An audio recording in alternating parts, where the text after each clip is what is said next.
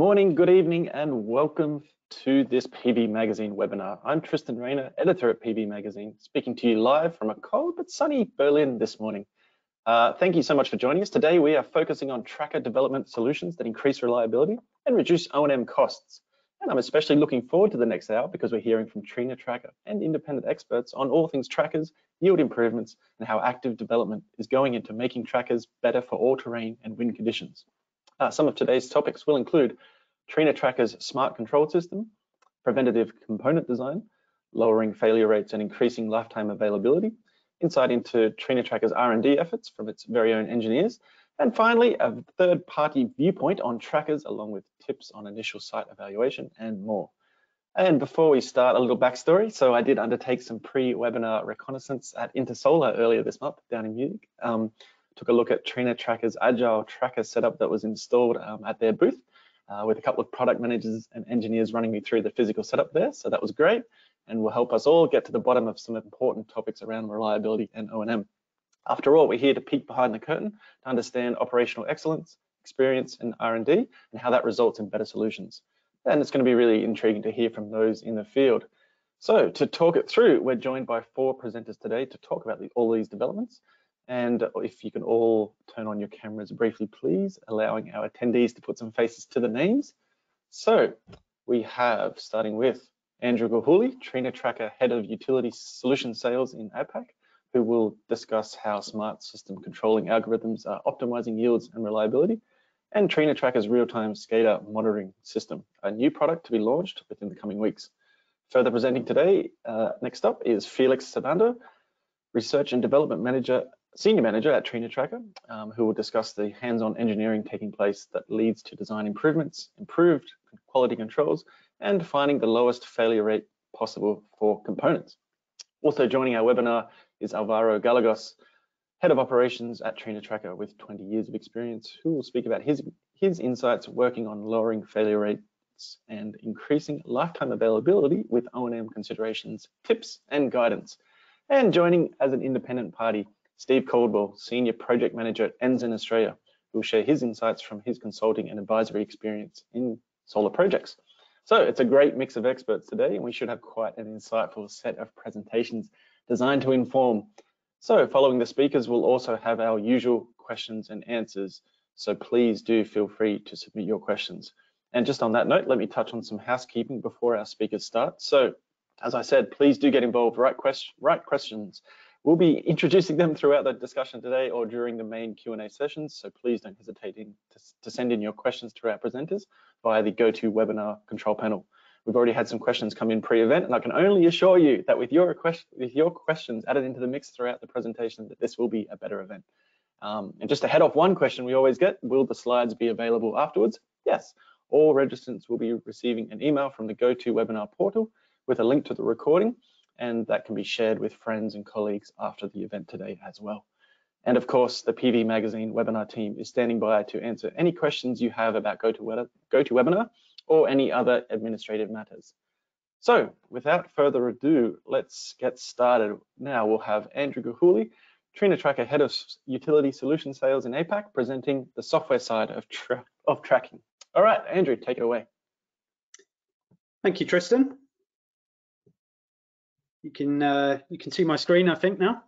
Uh, so yeah, thanks for those insights from Intersolar, Tristan. Uh, sorry I couldn't make it. We've uh, been unable to leave Australia uh, for the, the past year and a bit, so hoping to get over there soon. So good morning, afternoon, evening, wherever you may be. as Tristan says, I'm Andy Gilhooly. I lead Trina's utility solution sales in Asia Pacific. I hope everyone joining us is keeping safe and well in these strange times that we live in. Um, I actually live in, in Melbourne, Australia, uh, which recently took the ignominious crown of being the, the most lockdown city in the world. So uh, until until very recently, so we've come out of that, and it's encouraging to see things getting back to some sense of normality. Um, I just want to thank our friends at PV Magazine for once again facilitating such a, a well-attended and interesting session. Um, we really hope that the, the, materials we share with you today, our audience, are, are of interest to you.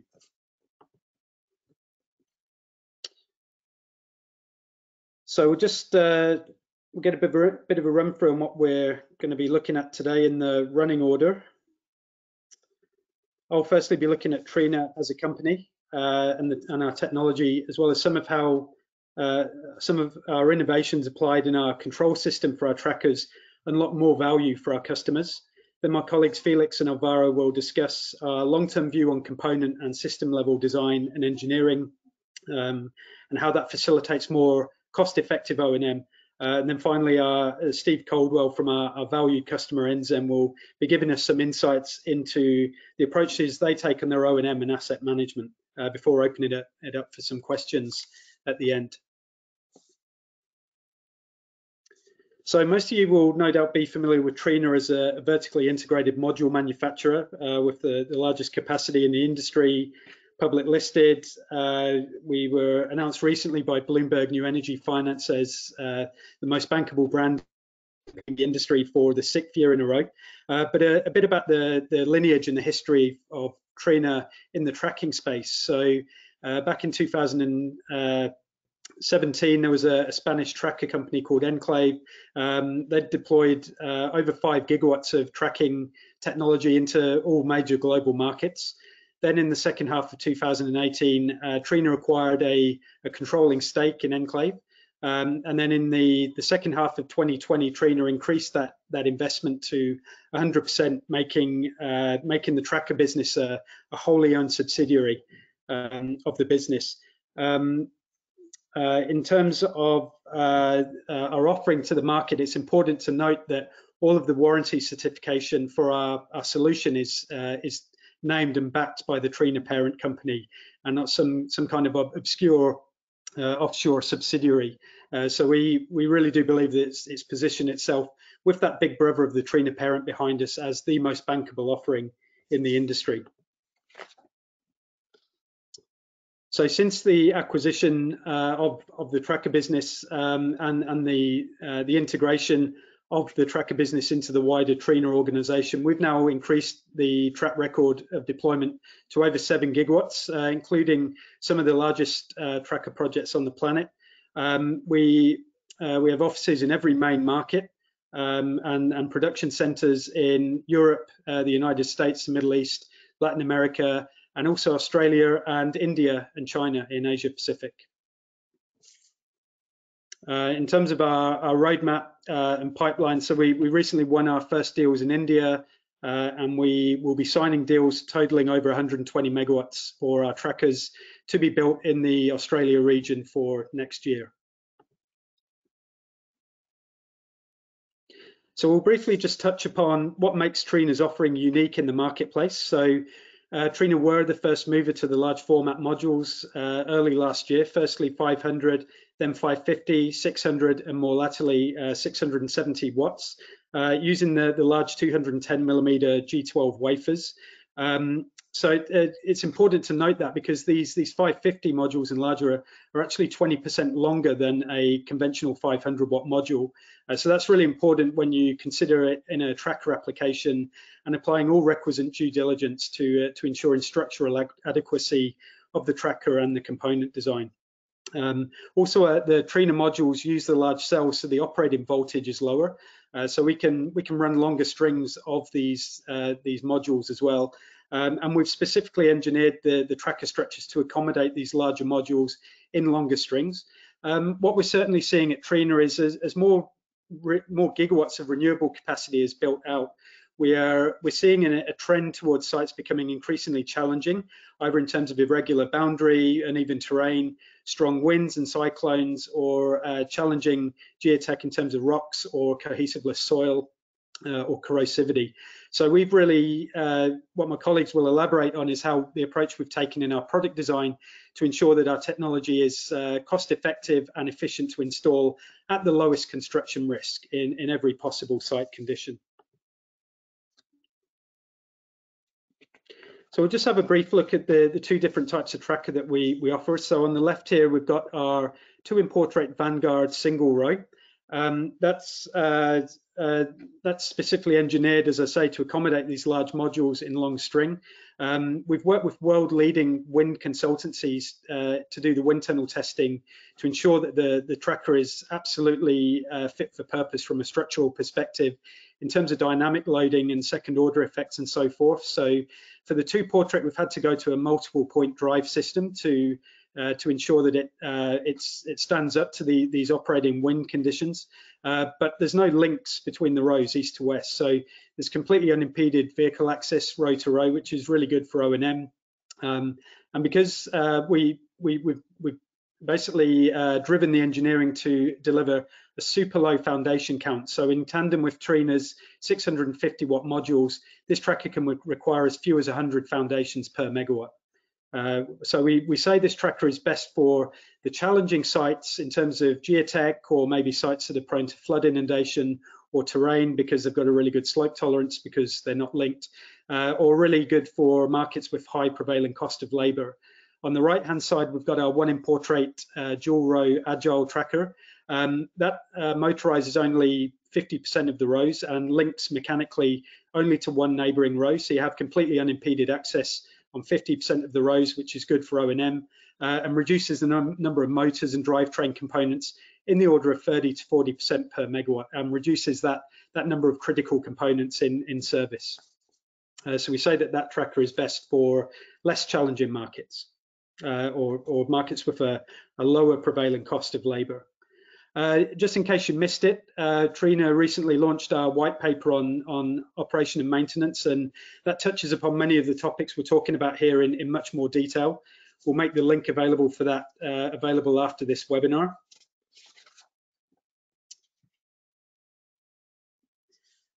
And at its core, the Trina Trina Tracker offering, we we use proprietary tracker and system level control uh, platforms. Uh, that was that was viewed very favourably by DNV in their technology review because we're not beholden or uh, or locked into any one uh, external entity for such a critical component component and part of the tracker system.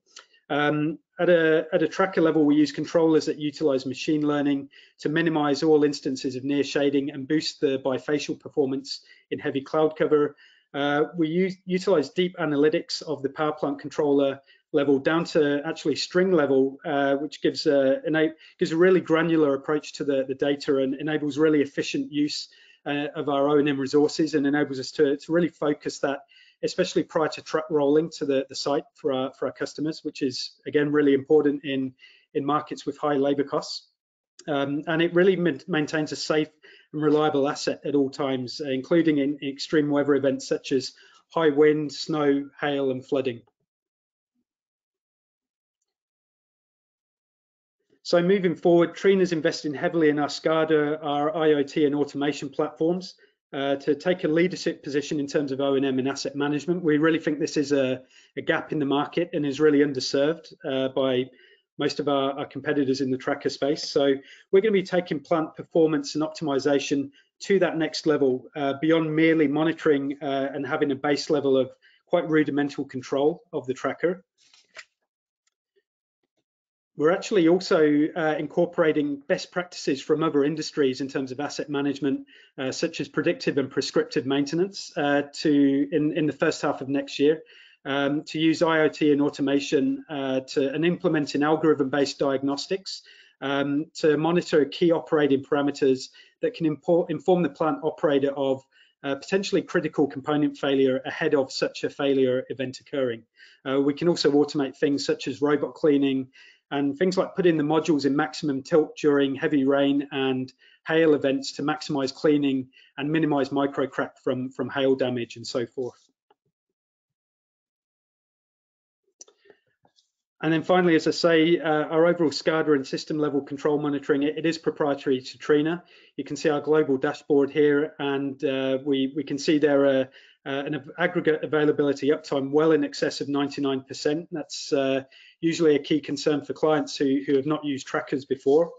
Uh, if we just move on to the next dashboard here, we can see a, an overall power plant level control uh, with generation and weather status, uh, as well as side-by-side -side comparison of each power block within the within the, the solar farm.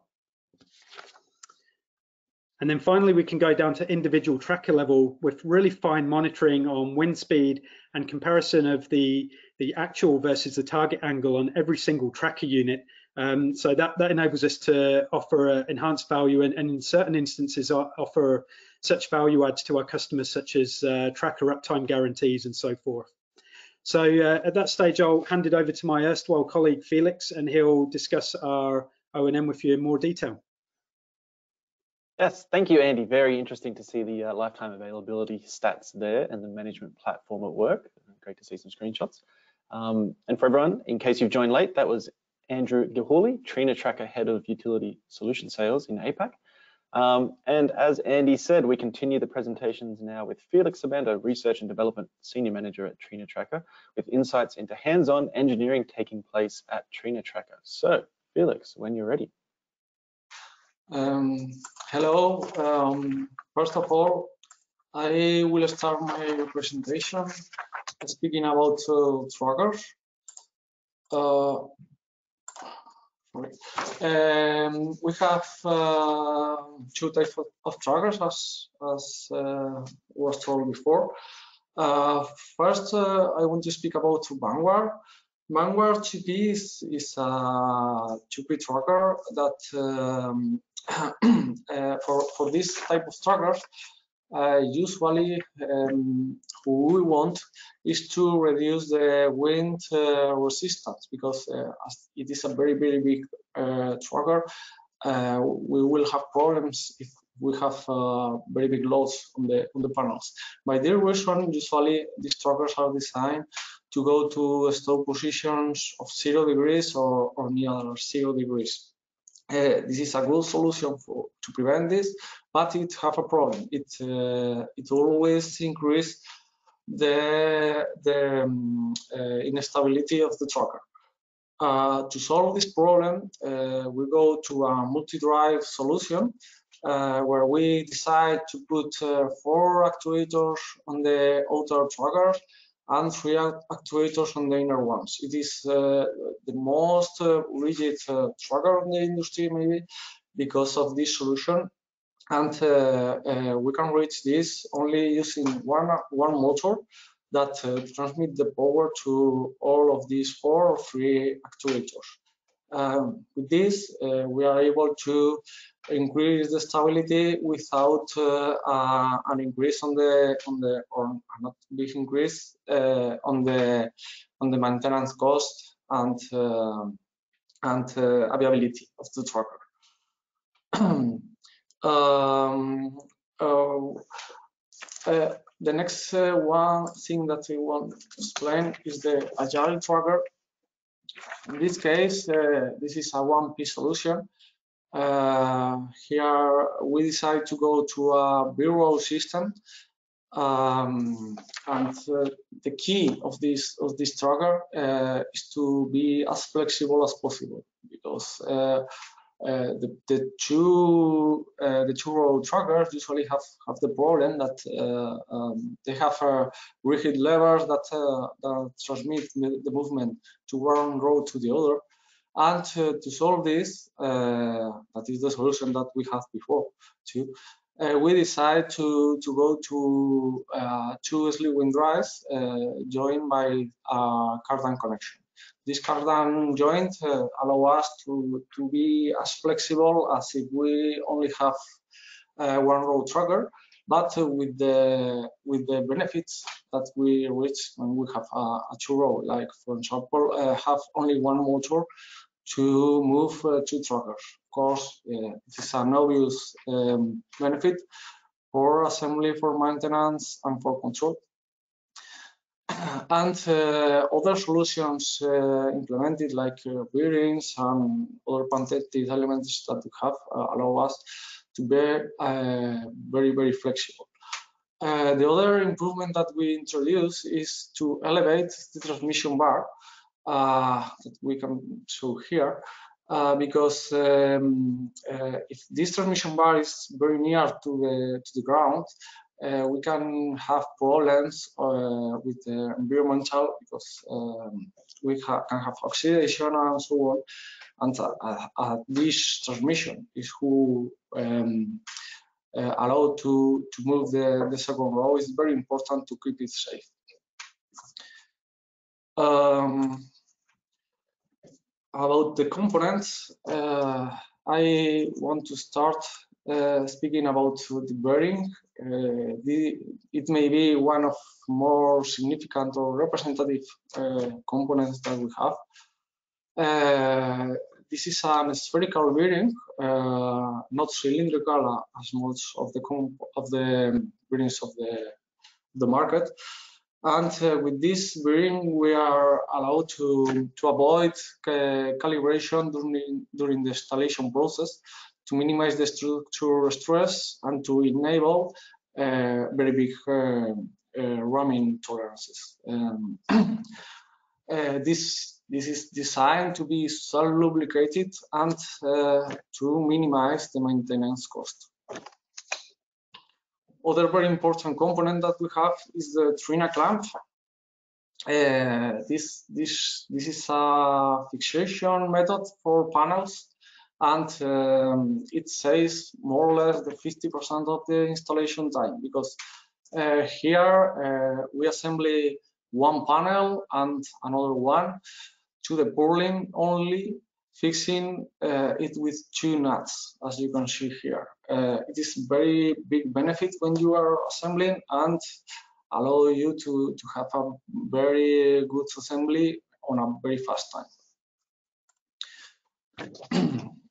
About uh, structural parts, uh, we have uh, uh, the post design uh, was focused uh, initially on uh, increase the section of the, the piles to try to reduce the number of posts per, per tracker.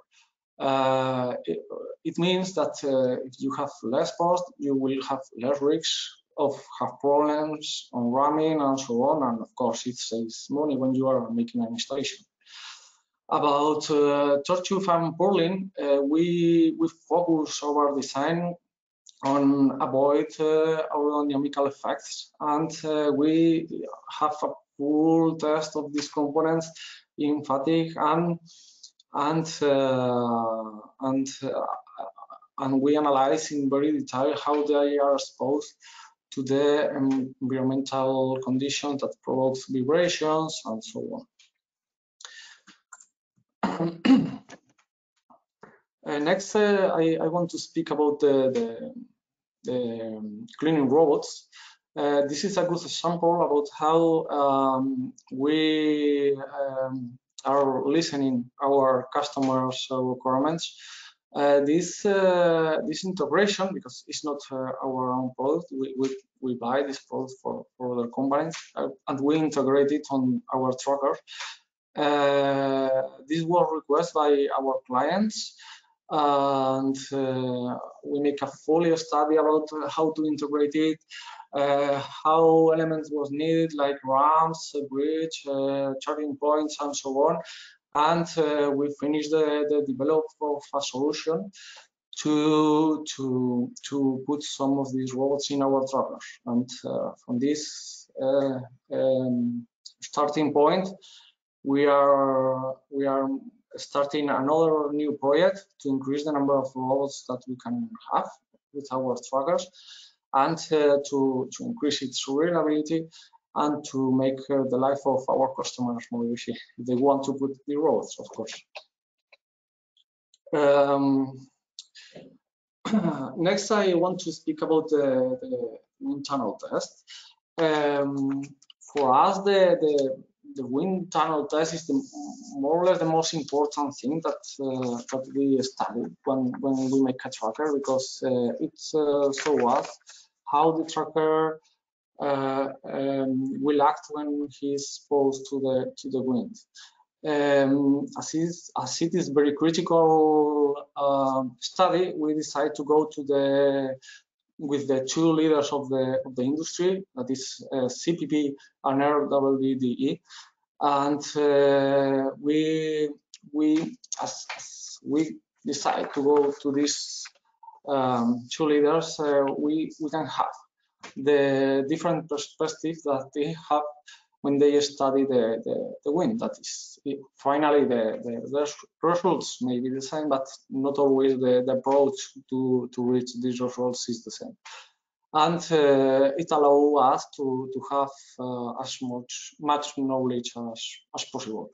Of course, uh, as I told, we did uh, full aeroelastic studies for all of our trackers before uh, or during the, the development of, of any new product.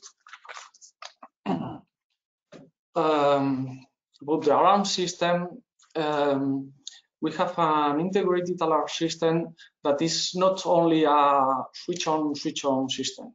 Okay, uh, we can avoid, uh, uh, we prevent uh, wind events, uh, we prepare uh, to resist snow loads, very high snow loads, hailstorms, floods, and other problems on the tracker like battery communications and any other uh, um, overconsumption or other any other problem that we can receive from from from the from the tracker. Uh, as I told, this is not only a switch on, switch off. Uh, we really have a detailed um, um, check of how it's happening and we adapt our tracking for these uh, uh, circumstances. For example, if battery is, is going down because uh, is because um, we can have um, a lot of movements or, or a little reduction on the on it, uh, we not go to a stop position suddenly. Uh, when we receive this this this uh, problem, first we go to a tracking angle, to a lower tracking angle near to the stop position.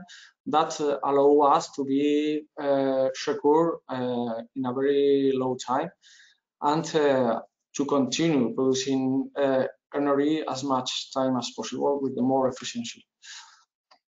Of course, uh, Vanguard 2P and Agile 1P are very different trackers. They have different approach, uh, as I told you before. Uh, they have different strategies, and uh, it means that uh, it have a, a different uh, approach to this um, alarm system.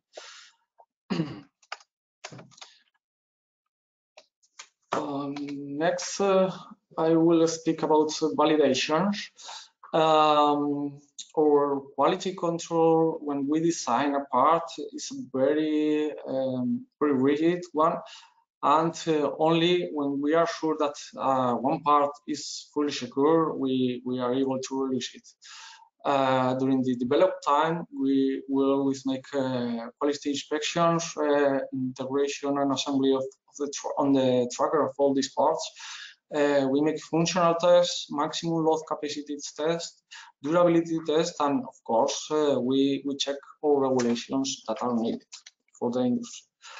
Uh, for example, here we can show an slewing drive uh, making an environmental test on the on the left side and uh, a dynamic uh, load test that we do on the slewing drive to check that the maximum load or, or, really we have some security coefficients we, we, make more load than it will have on the real installation uh, and we check that uh, the slewing drive will be able to move with the better quality and uh, performance. On the right side, we can see a, life cycle test. We make a life cycle test of the full tracker, uh, not only of the um, individual parts, to validate uh, not only this part working alone, but also the, the whole tracker working. Uh, we on this life cycle test, of course, uh, we may we put some additional weight to simulate uh, the different loads that we expect to have during all the operation time. Finally, uh, about uh, quality, um, of course, we, we make a very high, uh, very detailed uh, quality inspections of all our components before it go to the to our clients. But uh, our quality procedure not only covers this. Uh, it starts on the development of the product when we um, take all the client and market requirements And uh, when we are making this, this develop, uh, always we are evaluating supplier uh, characteristics and, um, and how they can do with high quality standards. And of course, it, is a it is not a one line direction process. Uh, always uh, we are looking for for the for the problems or, or, issues that we have when we produce and always we are we are um, developing new solutions or adapting our components to have the better quality in, in all of them this is it is all Thank you, Felix. Yes, nice to hear from the engineering and R&D side of Trina Tracker today. Obviously, uh, we can see there that you uh, the focus on stability and reliability is uh, crucial. And, um, I thought it was very interesting to see the wind tunnel testing um, uh, taking place there. Uh, so now we jump across to Alvaro Gallegos, Head of Operations at Trina Tracker, taking us through further insights around components and direct O&M activities. Um, Alvaro, just before you start, a little warning that we're running a little long on time and we want to make sure we have time for questions. So you may need to keep it moving, um, but take it away. It's all yours. Okay, I will do my best. Hello, everyone.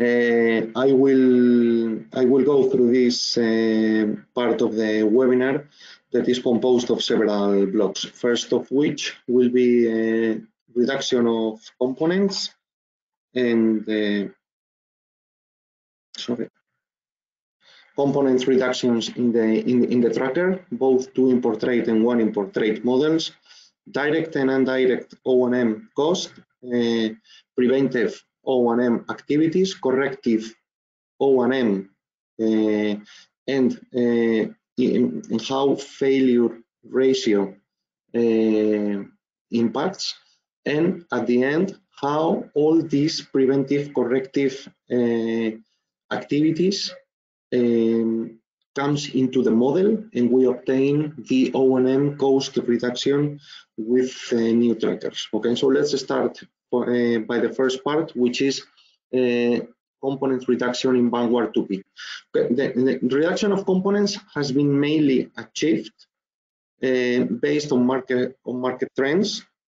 Uh, as you know, uh, apart from producing trackers, we are also an important player in, in modules. So we combine the ultra high powered modules with longer trackers and we got that the installed power per tracker is more than double than in previous models. Or said otherwise, a number of trackers required per megawatt are less than half than in previous models. Okay. Second, second highlight at this stage is that the reduction in number of components during the design stage is focused especially on all of all those which are most demanding from an O&M perspective. Basically, motors, bearings, and tracker joints. With this, we will be able to reduce the O&M cost during the operational phase. Okay. Now let's go quickly to, to, to see how, how it works in two in portrait model, Vanguard. Uh, here, the number, the, the power per tracker increased by 101%, number of trackers per megawatt reduced accordingly in 50.3%, and the most demanding components like bearings reduced 49.1% motorized actuators minus 50.3%, number of motors same quantity, and number of joints minus 24.3%. You, you can see that total actuators is uh, the number is increased 62.8%. This is because the new two import uh, tracker is designed with an innovative multi-drive system which procures more security and safety to the tracker. Okay, so now let's see how it works in the one in portrait here. The comparison is only established, in, will be established in terms of the number of trackers per megawatt and number of bearings because really the new tracker model has been designed with a new drive system which is slew drive instead of linear actuator that was a previous model okay so that's why uh, the, the, the, figures will not be relevant by comparison, okay? So only bearings and number of trackers per megawatt. In this case, the number of trackers per megawatt reduction achieved is 38.2% and number of bearings is minus 50.5%. So let's move to the next part or block, which is the direct and indirect O&M activities. Direct O&M activities uh, are the tasks associated with preventive maintenance of the tracker that are performed on the field to avoid predictable tracker failures, which is the main, the main target in our company. Okay, main activities, uh, main direct activities performed outside are motors lubrication, actuator lubrication, checking, visual checking of torque tightening values, visual checking of alignment, checking of electrical and mechanical connection, as well as inclinometer calibration and time synchronization for the TCUs, um, and also the checking of electrical and mechanical connections and the correct functioning of alarms regarding the sensors package. Here, I also included the, the, the motor overconsumption, which is not really a task to be performed during operational stage, but it is so relevant and so important that I included here. It is very important to supervise the correct fault tolerances during the assembly stage, okay? Regarding the indirect O&M activities, indirect O&M activities are not really activities that are performed on the field, but are a kind of inputs that are needed during design stage in order to make compatible tracker design with the module cleaning system that might be robot or machinery uh, and also the ground module clearance input. All this information we need to receive during the engineering stage to, to compatibilize during the uh, design stage, tracker design, with all these parameters. It will make possible during operational phase the compatibilization and the reduction in O&M cost. These parameters are very important to be received during the engineering stage. So we are able to make them compatible with our tracker design early stage of the projects. It will revert into uh, consistent uh, O&M reduction later on. Okay. Let's go to the next block, which are uh, preventive maintenance calculations or estimations. Here, um, it, they are calculated uh, according to following parameters. We need the units per megawatt of all those components which are, which are subject to maintenance. We need the time per action and megawatt uh, to check. We need the inspection frequency coefficient as an example, a motor or actuator lubrication is done bi-yearly or sensors package uh, uh, inspection is done yearly, but there are other activities which are done every three years, like tracker control units check, okay? So the inspection frequency coefficient and a recommended sampling for each and every of these activities to be performed. By the multiplication of these four factors, we will get the average of preventive O&M time um, in terms of hours, year, and 100 megawatts, because 100 megawatts if, is, is the, mm, the size that we use to calculate, okay? So uh, in case of uh, Vanguard 2 in portrait, uh, the total preventive maintenance time estimation is 158 hours a year and 100 megawatts. And for our two in portrait, uh, for our uh, one in portrait model, so-called agile, the estimation is 168 hours a year per 100 megawatts. Now let's move to the next block, which is the failure rate and how it impacts in the corrective maintenance. When preventive maintenance fails, corrective maintenance needs to be carried out. Failure rate is the key parameter to assess and quantify time and cost for corrective or unplanned maintenance. Failure rate is the indicator of tracker reliability and Trina tracker target is to reduce the failure rate in order to achieve the maximum energy production and consequently the level a reduction in the levelized of, of energy, the LCOE. Most relevant impact in failure rate reduction is obtained, is obtained in new tracker models by component reduction. It's very important, especially all those which are most, most demanding from an O&M perspective, and also by design innovation. In this case, as Felix told in, in the previous block, the most important, most probably are the, W piles, the new uh, spherical bearing design, and Trina clamp design. Okay, so failure rate uh, is calculated in percentage as number of failed units into number of units deployed and time period in years.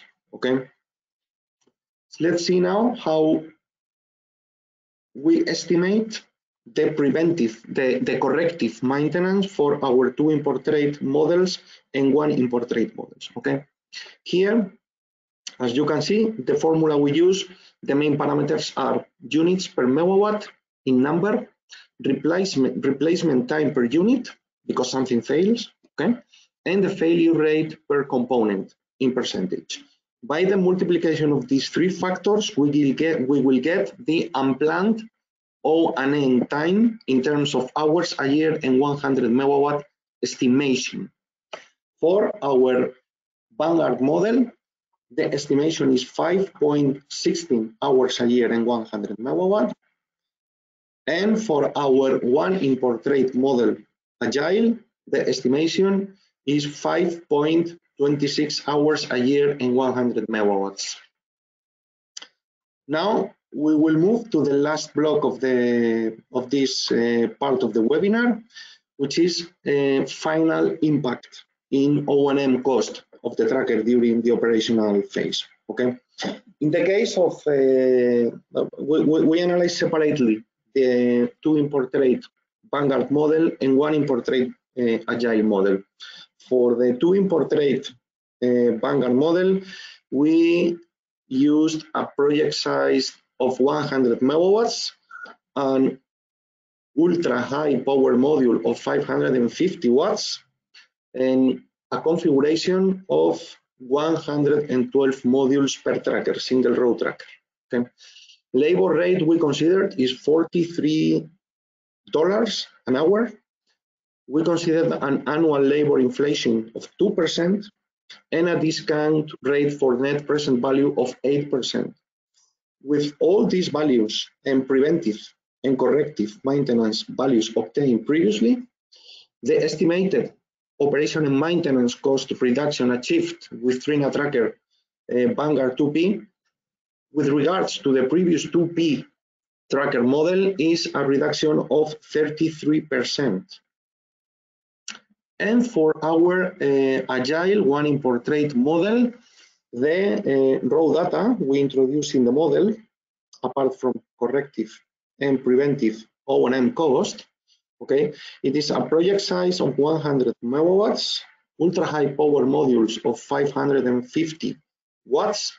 Uh, these are, this is a B row tracker, so it is 57 modules per row, total 114 modules per tracker.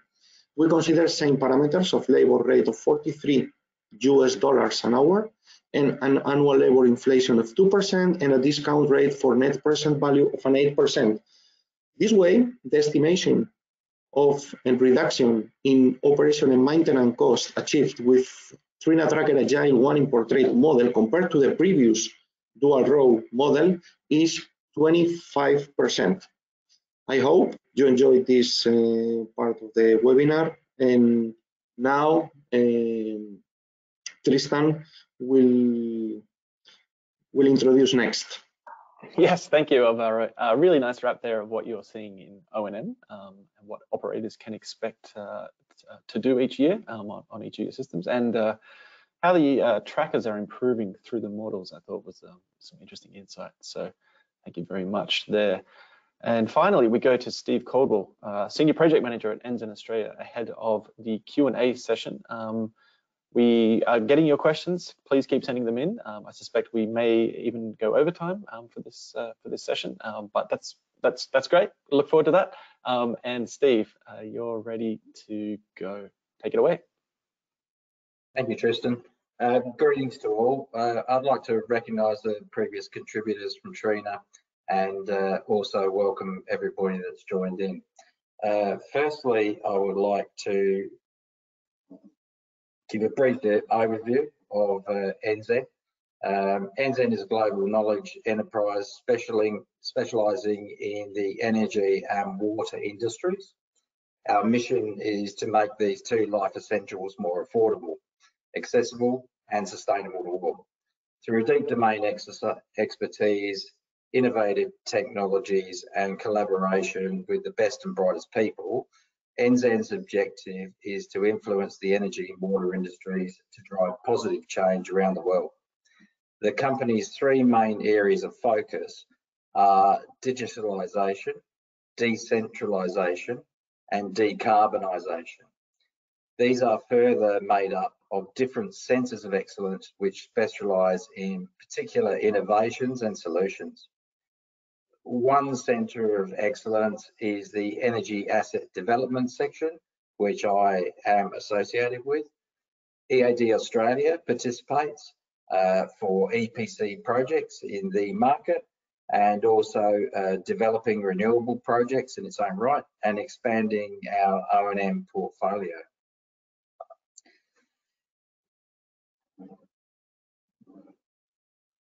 Uh, firstly, I'd like to recognise the complexity um, of operating an array uh, over, uh, you know, in a harsh environment um, that these systems have to uh, perform in year in, year out uh, for up to 30 plus years of operational lifespan.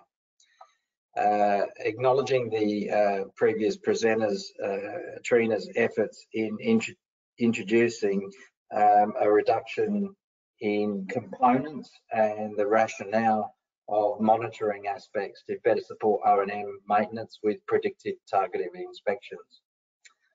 Uh, where to start here? When challenged with this task, R&M industry best practice is always a benchmark uh, that we can fall back on, and these uh, this information is readily available in our marketplace acknowledging availability guarantees of uh, renewable projects being between 97 and 99% per annum um, sort of highlights the need for predictive uh, maintenance regimes. If you look at 99% uh, over a calendar year, that uh, equates to three days a year where you uh, are not available to generate, which is not um, a great amount of time to uh, go through corrective maintenance.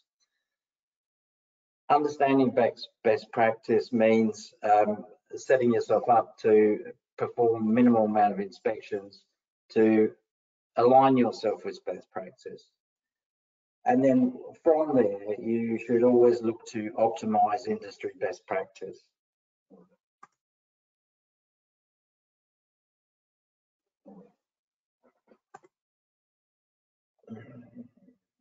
Now, if I could just switch to the webcam again, Tristan. Yeah, we can see you. There, we can see you there, Steve. Um, oh, very good, very good. So, uh, actually, wait. I'll just uh, need to turn you back on. I think. One second. Okay. There we go. We see you now. All good. Keep going. So the three main areas uh, that are required to achieve uh, availability guarantees. Uh, number one, preventative maintenance. Uh, in doing that, you have to identify tasks, uh, prioritize the importance of those tasks, allocate frequency, and you also need to allocate the extent. So uh, daily, quarterly, semi-annual or yearly. Uh, are we looking at the total installation? Are we looking at a defined subset or are we looking at random subsets? Predictive maintenance, uh, utilizing O&M, OEM recommendations uh, and utilizing site data acquisition. Obviously, corrective maintenance, uh, there's a goal to keep this to an absolute minimum, uh, and therefore uh, the following activities can be utilised to ascertain areas of potential failure.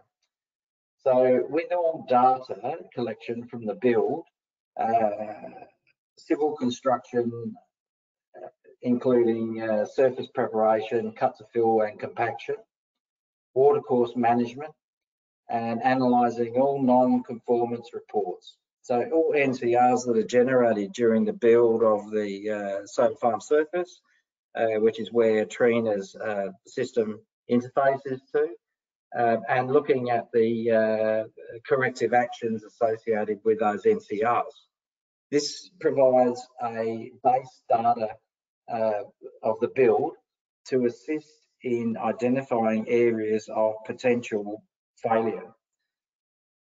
Differential settlement through uh, cut to fill activities, no matter how good the compaction is during the build, will identify potential areas of failure in the substrate and therefore prioritize the inspection or measurement of ground conditions also acknowledging the uh, BOM data or weather data um, against the design for watercourse management and overland flow will also highlight areas of priority for inspection.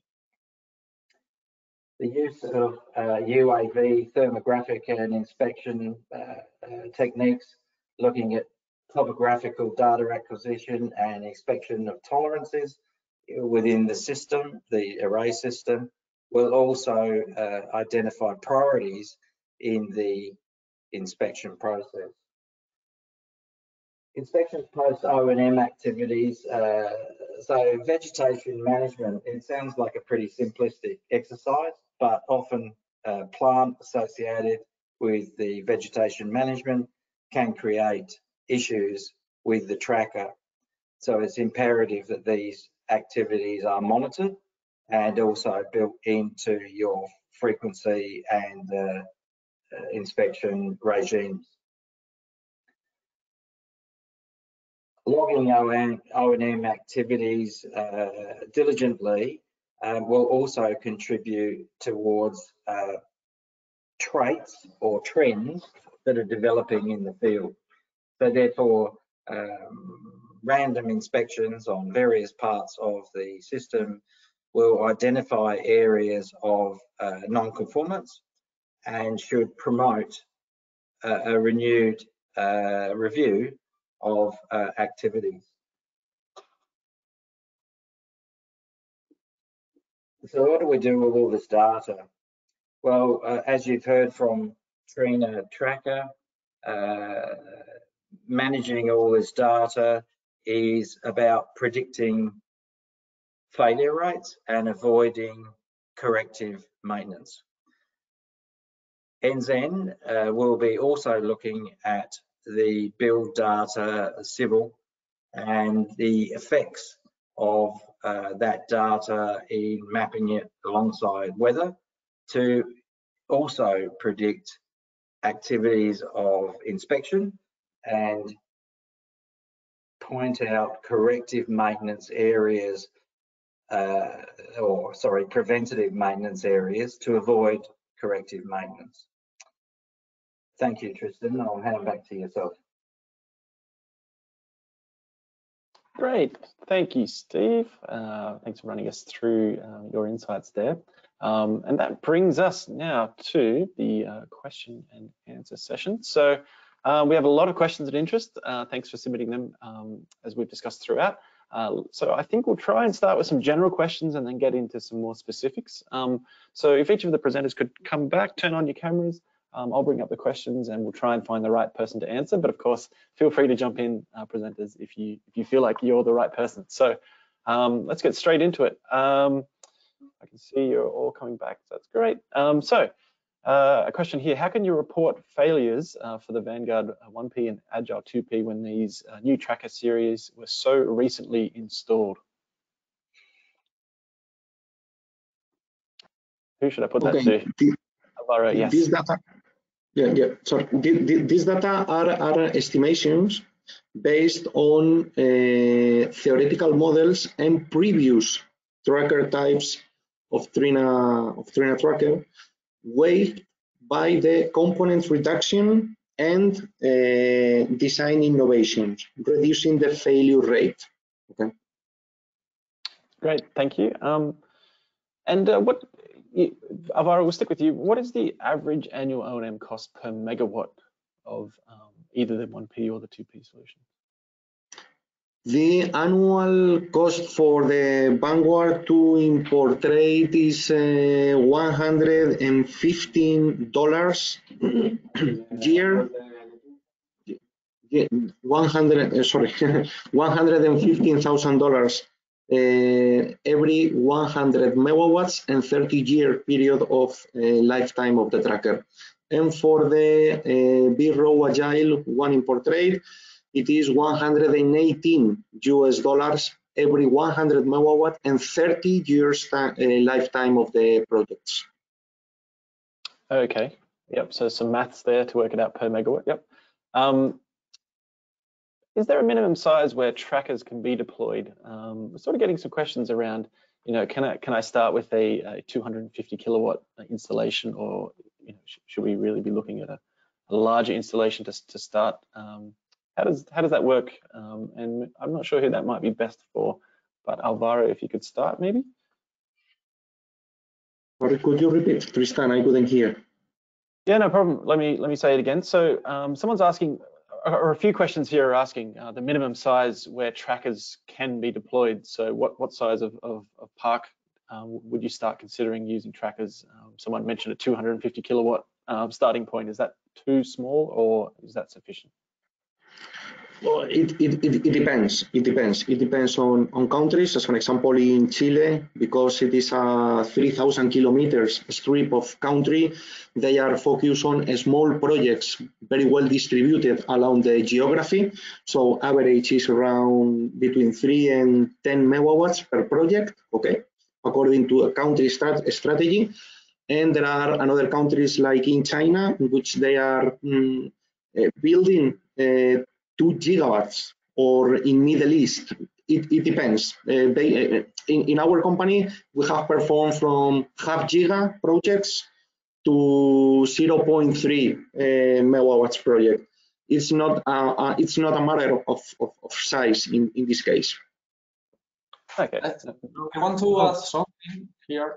Uh, we have a special solution developed especially for small projects that is uh, like a supermarket solution, okay, where uh, we reduce all calculations uh, and most of the of the tasks uh, that for, for a big project is not a very big cost, but for these small projects can be can be a problem because it represents a, a very big part of the of the cost of the of the tracker, and we develop a, a, a standard solution that uh, uh, reduce all of these costs and can be used for, for these small projects uh, to, to allow our clients to save money if they want to, to use our trackers. Yeah, if they want to save money, yes. go, go ahead, Andy. Yeah, I, I, was. That's a good point, Felix. I was going to mention that. Um, you know that there's a a fixed cost um, to trackers that uh, is not prevalent in you know where we where we're comparing against fixed tilt solutions. So you know whether it's a one megawatt or a 100 megawatts, both within Trina and our suppliers, the same team of people need to spring into action uh, to facilitate that order. So we find that uh, you know really the, the trackers become you know it, it kind of on an academic basis more more viable from a three megawatt and upwards, maybe down to two megawatts. Uh, becomes more challenging to get the numbers to stack up kind of below two megawatts. But uh, as Felix mentions, we, we, have taken a, a cookie cutter approach uh, to productize the, the tracker for these smaller sites to, to try and compress down some of that fixed cost so we can we can try and start addressing some of the more DG uh, oriented markets.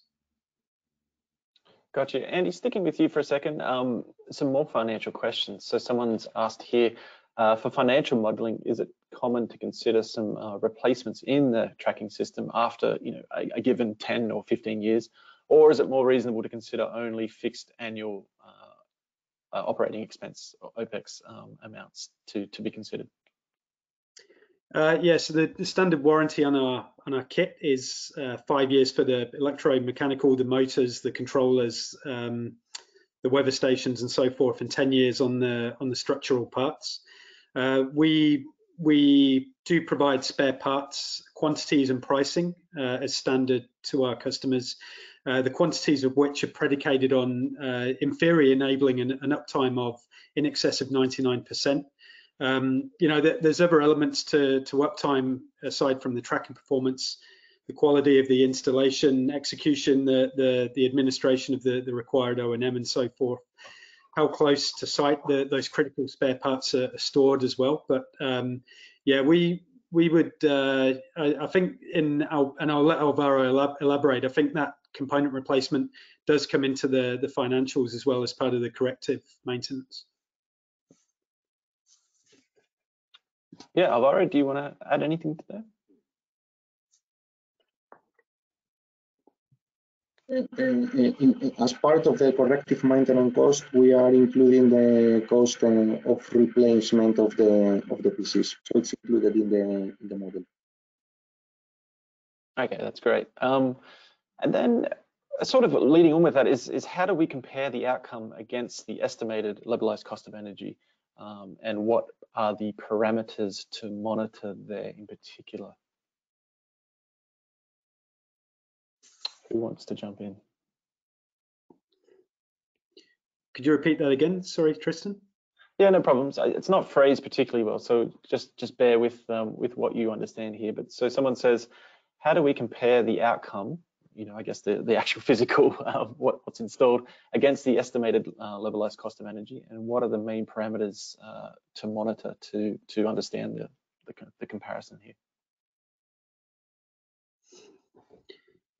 Um, I think uptime certainly comes into it. Uh, you, you, know, it's important to partner with a tracker supplier who can point to a, a solid track record of deployment and uh, independent verification on uptime uh, you know, trackers are inherently dynamic structures with parts that move and are motorized, that which you you don't get with a fixed solution. So that it does entail a slightly higher level of technology risk that is not uh, as prevalent in fixed tilt. So you know, it's more more important to partner with, uh, as I say, the more the more bankable offerings in the market from that perspective.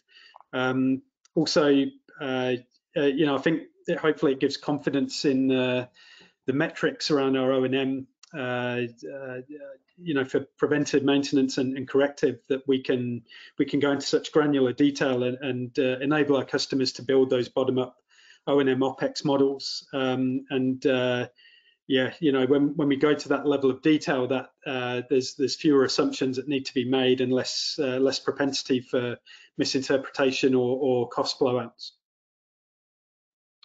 Okay, yeah, thanks for that. I hope that answers the uh, the, the, question there from from the uh, from the audience. Um, there's a supply chain question here, which is a, which is a big topic at Intersolar as well. Um, uh, so a question here just about stock availability, availability, uh, production levels, and if there's any delays being experienced uh, both here or if it's uh, affecting future models coming out as well.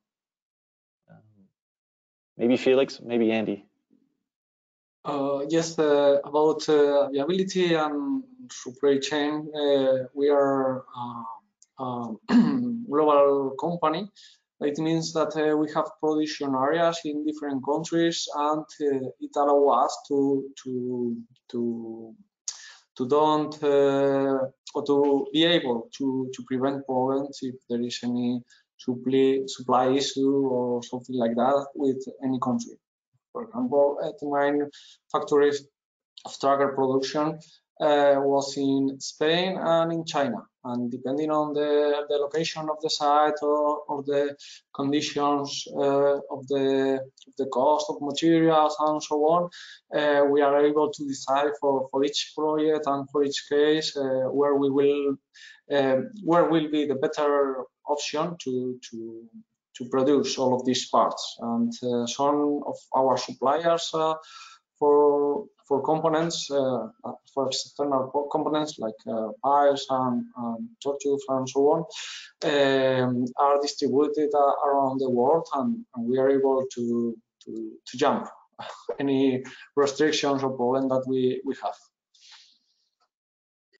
Yeah, and we've, we've got a, a seven gigawatt production capacity um, amongst our, our global fleet of production centers, as, as Felix says you know, it's a highly disrupted landscape at the minute, and not just in terms of the, the raw materials, but also shipping. You know, I think most of the people on the call will be familiar with the, the precipitous increases in, in shipping costs that seem to have quadrupled in, in the space of a year. So that that's really forced us to um, to explore alternative uh, implementation strategies and fulfillment models, going with more local content oriented approaches. Um, so we, have qualified a number of vendors in India to try and circumvent that, that high shipping cost. Um, and we've won our first few deals in India now, uh, and also avoiding things like import tax and, and duties and so forth.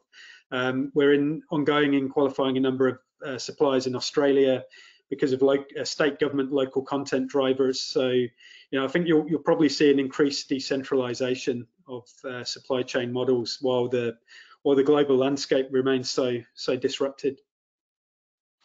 Isn't that a challenge? Yeah, I think that's I think that's really interesting um, and interesting to hear the mitigation strategies going on. Um, uh, I think something something um, sort of switching across a little bit uh, is uh, people ask me about module lifetime. Um, so uh, you know, there's a sort of uh, question around, okay, modules on trackers aren't fixed on all sides. So the wind loads, as we saw are being tested, um, wind loads can bend the modules to a higher grade. Um, and, does that uh, cause more micro cracks? Um, and what are the mitigation strategies?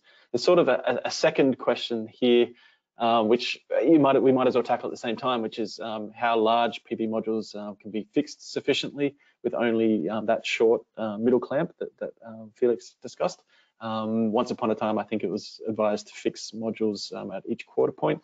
Um, and so frame heights have decreased a little bit. So yeah, a couple of questions there around um, modules. and perhaps Alvaro, maybe you, you want to jump in? This is this is this is for for Felix. yes. Okay, sure. No. Okay. Uh, first of all, I, I want to to to show that uh, until we was uh, in Trina, uh, we are able to to have the, the knowledge uh, or to know uh, the next generation panels before it go to the market, and it allow allow us to to make all tests before it go to to the to the projects. Um, uh, and other benefit that we have being only one company making all panels and, and trackers is that uh, uh, our Trina panels are fully tested with our purlins. Uh, we we not only make uh, uh, um, individual tests with purlins and individual tests with uh, panels, and later we make a, a lot of tests to to verify that all is okay.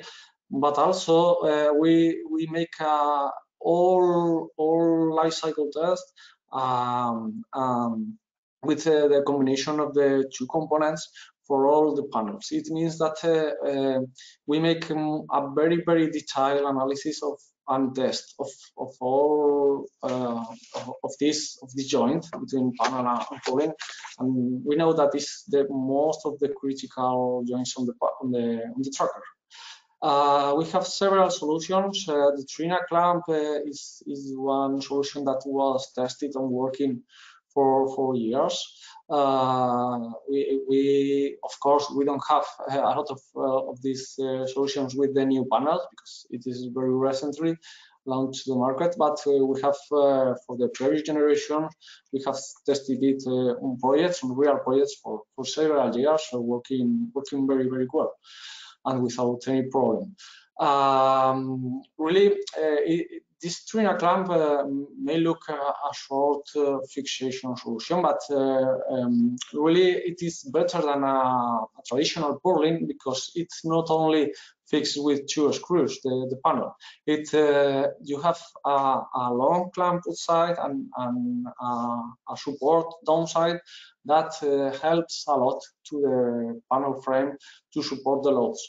Uh, this is especially designed for for for the aisle for 1P tracker, and for 2P tracker uh, we have uh, a, a, longer purlin okay, that cover um, most of the part of the panel and uh, allow him to resist the, the, loads. And as I told before, on this type of trackers, the, the focus on the two panel trackers, the focus are to reduce the, the pressure on the panel. It means that we go to a zero degrees stow position and the loads and pressures on the panel are, are very, are, are lower than, uh, than in other solutions. And uh, finally, um, I want to add that uh, we, we make uh, we joined the, results that we received from the wind tunnel test to the panel uh, loads. And it allows us to, to not only make a continuous pressure on the panels to verify the purlins, but also we make distributed loads and dynamic uh, uh, and life cycle tests that uh, simulate how the loads are really um, um, how really happen on the panels because uh, it is not a uniform load and sometimes uh, it can be um, um, uh, not done this this detail test. Okay, sure. Uh, anything else from anyone? Otherwise, I think we'll uh, may that might be a good place to leave it. So, if there's anything else to add, otherwise we're good. Okay, great. Uh, so yeah, that's a great place to leave this for today. Big thanks to you all for joining us. Uh, thanks for sticking with us. I know we went over, but um, we always want to uh, let the audience questions um, make it into uh, to our presenters.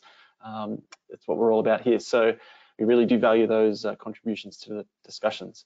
Uh, big thanks, of course, to Andy, Alvaro, Felix, and Steve for sharing their presentations and expertise with us, and everyone at Trina Tracker, and of course my colleagues behind the scenes here at PV Magazine who worked hard to put on a great program for us today. Uh, one more time, if you're looking out for this info, everyone will receive Trina's white paper and link to the webinar recording with a follow-up email post-event. Keep an eye out for that for all the full details. We've had a lot of questions about that, so yeah, you will get it, don't worry. Uh, otherwise, the October edition of PV Magazine is out now and features a detailed look at a big battery fire in Australia, insights into reuse of secondhand modules, and a huge amount more as you see each and every month uh, please do use the coupon code there for a saving on your subscription and look out because around the corner is the November edition of the magazine with a hive of editing activity wrapping up tomorrow. Um, and I'm part of that. So uh, as soon as this webinar ends, that's where I'll be going to. So stay tuned and uh, look out for a really unique cover from an amazing artist we work with. So something a little bit different. Um, and as always on the website, we have fresh solar and renewable industry news published each and every day. Um, you'll see there our most read online at the moment is uh, a piece by Blake Matich on solar farms proving to be beehives of economic activity, uh, somewhat linked to bees themselves. Um, and Mark Hutchins there with uh, a piece on big modules heading for standardizations, uh, which is uh, seems like it's been overdue and now happening. Um, and not only that, we have plenty more great webinars coming up as well. There's actually a really big program of webinars. So join in uh, for what suits you and, and your uh, colleagues. So tomorrow, Tuesday, with the talented Marian Willuhn present uh, moderating, we have uh, PV on the Northern Roof, a proposition for the cold season, which um, goes a little uh, counterintuitive. Um, so I'm really interested to see that. Uh, and then on Wednesday, we have purchasing modules in 2022.